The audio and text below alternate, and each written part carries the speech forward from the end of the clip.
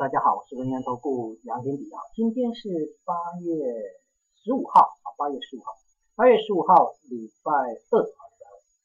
嗯，台股在今天的一个表现基本上算不错的，因为是开高，可是开高之后就震荡走低下来啊，所以我们看到的一个状况就是基本上就是台股去冲上去之后压回。好，这个地方呢为什么会开高？全球股市大涨是主要的原因。我先跟各位报告，你不要看我现在很胖啊，那是因为呃角度的不同，好，那纯粹是角度的不同。好，那我想呃将来会改进的，好，那现在我们先做一些尝试，先这样一个预录的一个方式哈。好，那台股的一个部分在今天开高走震荡之后，算是收高啊，因为它基本上还涨了八十五点，所以相对来讲还是一个强势的一个架构。不过呢，这个地方有人在问啊，就是 到底台股会不会回升啊？不会哈，不会，我讲的很清楚，不会。我们从另外一个角度来看啊，为什么为什么台股会走高？因为美国股市大涨。美国股市为什么会大涨？很简单啊，昨天晚上美国的国防部的高官啊，那么这么说的啊，就是说我们仍然寻求外交的途径，要来解决北韩的核武问题。这这是美国股美国的一个高官讲。然后呢，北韩马上试出善意啊，那我们就把这个飞弹要射关岛的这一部分，我们延后啊，延后。好，那就出现一个问题啦，那都是你们在讲，你们讲呛虾两个在呛虾，全球股市大跌，你们两个现在好像又没事了，所以呢，看起来又没什么没什么事情，全球股市又又又上来啊，这叫做马照跑，舞照跳。不过台股不一样，台股跟美国股市不一样。很多人告诉我，美国股市要创新高，那是美股。美股的部分确实哈，你看那个道琼指数就知道，道琼指数准备要创新高了。来，你看呢？啊，往上冲了，要站上两万两千点了，不是要创新高。那前一波高点是两万两千，呃，两万两千一百七十九点啊。昨天收盘是二一九九三。目前看起来美国的电子盘还算不错啊，还算不错。九月份的道琼。那么还涨了六十二点，啊，涨涨了六十二点，这边，啊，这边，好。那我认为台股的部分，我跟各位谈过哦，我说台股的状况不太一样。我们先看一个东西，第一个东西就是我们今天的涨升是没有量，没量。然后呢，我们碰高点碰到什么？碰到这条线，这条线叫做季线，碰到季线之后压了一下，并没有上去。然后我们再回来看一件事情。记不记得上个礼拜二就是八月八号父亲节那一天，我怎么跟你讲？我说量太大，好量太大，要准备什么？准备拉回啊！我认为是一个中期回档，当时跟你谈到中期回档，所以我卖掉很多的一个股票啊。那么目前手上持有的现金部位是比较大。那有人问我说，那老师今像今天的一个反弹可不可以抢？哎，不是不能抢哦，我我也一样抢哦。我在会员抢进了一张股票啊，叫八一零五的邻居啊，尾盘收高。收高上啊，那为什么抢这张个股？我待会跟各位分享我的观念啊。我想做股票做的是观念了，不是我告诉你我买的什么股票，那不重要啊，那不重要，重要是我为什么买。我我认为这才是最最大的关键。所以，我们回来看一个东西啊，来，我们先从这个东西来看啊。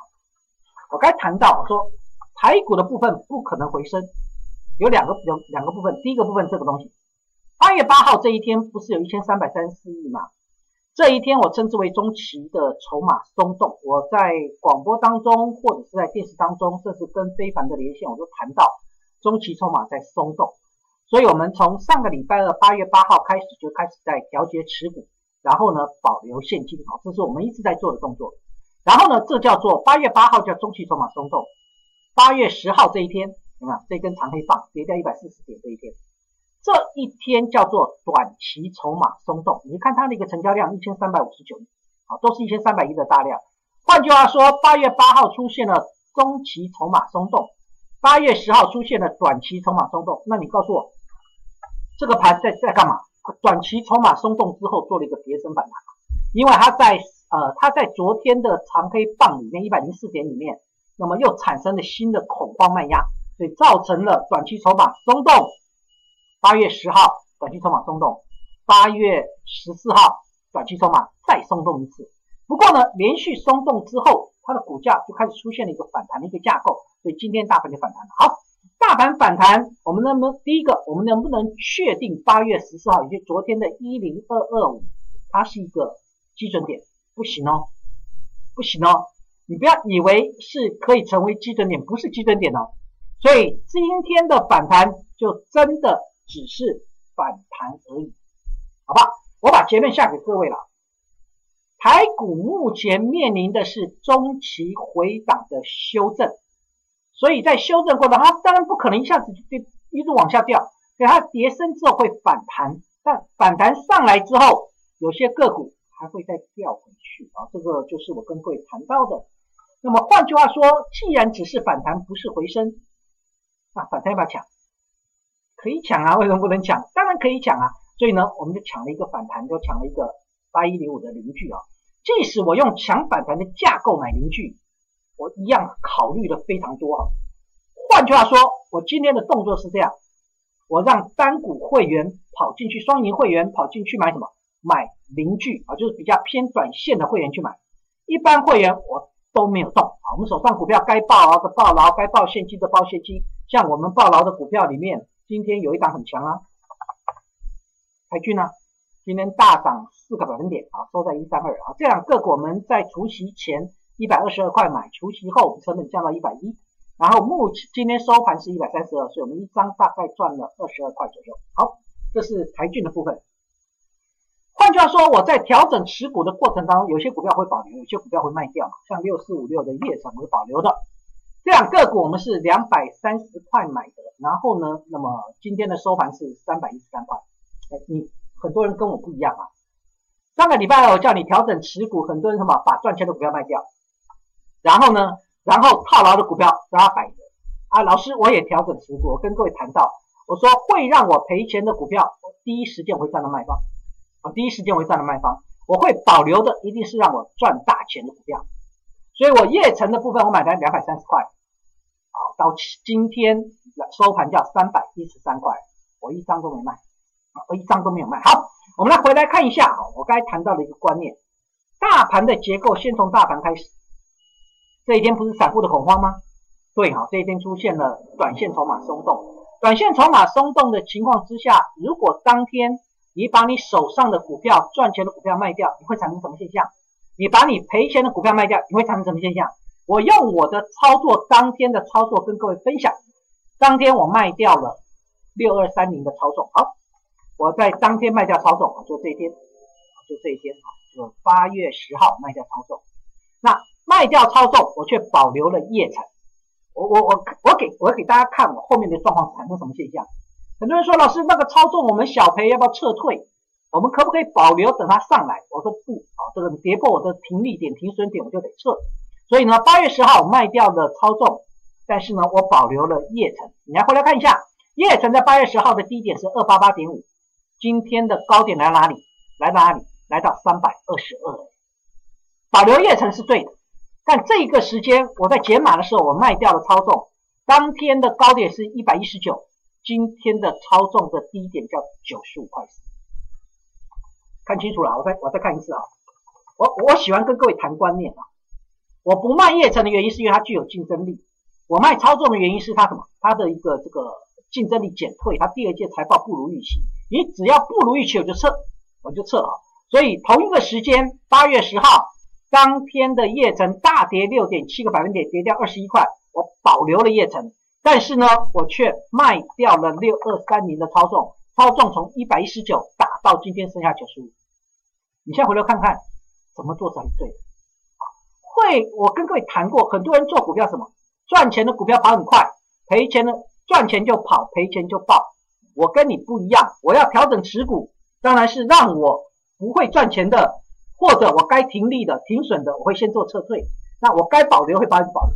好，回来谈，回来谈。我们这个事情已经过去了。那我们现在在讨论的关键点就是，台股如果不能确认昨天的低点一零二五是低点的话，那后面会怎么走？后面会有几个走法啊？第一个走法，好吧，如果我要确认它低点。我会用以量确认，这个量说不认低哈，低不破低才能见底。以量确认是什么？今天反弹上来，啊，今天成交量是九百三十八亿，那明天的再反弹，攻上季线，放大到一千一百亿以上，你至少要放大到这个位置以上嘛。好，这个这个这个昨天的这个大量是一零七九亿，你至少要比昨天的成交量来的大，所以相对来讲，如果回到一千一百亿以上，站上季线，然后拉出一根中红棒，我可以可以确认昨天的八月十四号的低点一零二五是低点啊，这第一只脚啊，如果没有，它的可能性就持续的往下掉，持续往下掉，我是认为可能拉回的可能性还是非常大。但不管如何，今天为什么我我要进来去抢八一零五零去？好，那几个理由啊，几个理由，人气可用，人气可用，强强短吧，强就算我是强短，你看我怎么思考？昨天的邻居一根长黑棒杀下来，今天邻居一开盘跳，跳高上来之后就没有再跌，好，这第一个我会买它的原因就是我没有开高之后走低下来。如果是开高走低，你连碰都不要碰，环球金不是这样吗？对吧？哈，所以同样的邻居的一个部分，就技术面的角度来讲，它开高之后还往上攻，而不是开高之后往下掉。好，这第一个。第二部分，邻居现在的价位在十九块这边的一个价位，在十九块这边价位，它具有什么一个利基点？好，邻居的利基点是它的净值在十八块半，它的第二季财报好，带你看它第二季财报。第二季赚了零点四六元，赚了零点四六元，等于一个季度赚零点四六。那我们用未来四季的角度来看，邻居未来四季有机会赚到两块钱。如果有机会赚到两块钱，目前的股价在二十块以下，北比多少？北比大概在十倍以下。然后呢，我刚才谈到净值在十八块半，所以买在十九块出头，是不是净值比大概一倍？在净值比一倍而北比十倍以下，第一个它具有价值了，对。我买股票一定是从价值出发，然后用成长画梦。那邻居的梦在哪里？邻居的梦在于有一个日商叫 Otus，Otus 一个日商，他去并了三月份去并了邻居啊，并了邻居入主邻居了。那 Otus 入主邻居的目的在哪里？他为了抢邻居拥有的四代厂啊，四代线的一个产能。因为 Otus 是在日本的一个中小尺寸的一个面板厂商，它本身只有一代厂。可是它有很大的技术，叫做高解析度、省电，还有强光下可视的专利技术。而这一部分的技术，将来有机会，有机会呢，有机会转让给或或让邻居来去做一个什么，来去做一个这个接收哈，可以移转给邻居，是不是对邻居来讲，它未来的一个爆发就出来？然后再回来看一个东西，看什么东西呢？今年的邻居，邻居已经不是中小尺寸面板。它已经切入到所谓的这个，它的中小尺寸面板，它不是做手机的，它手机的部分已经慢慢在淡下，所以它已经切入到车用的面板。哎，兵工，车用面板它的毛利率比较高，而且第三季会有新款的产品出货，这一部分包括马自达，包括了克莱斯勒，包括了 B N W 这个订单在第三季就要出来。所以我问各位，我即使是强短一档零距的股票，我做了很多的研究功课。你想在这个市场当中生存，只有一个方法，不管你买跟卖，第一个策略要搞定啊，一定要搞清楚，会赚钱的公公司才是爆波段的股票，不会让你赚钱的公司，你买进去之后不对就要撤退啊，这是第一个策略。第二个，不管我买长线还是买短线，我都要先做好研究功课，这叫从基本面出，呃，从基基本面选股，然后技术面来操作。所以我跟各位谈过，说做股票想要赢不是这么简，不是这么简单。重要的关键是在于你的观念改过来没有。不管如何，大盘的结构反弹上来了，该抢短的我也带会员抢短。那剩下的波段布局的股票，我在等，等什么？因为大盘的第一只脚没有确认，我等大盘的第一只脚确认之后，波段布局的股票拉回之后就是买点。欢迎各位跟上梁老师的脚步，谢谢收看。明天同时间再见，拜拜。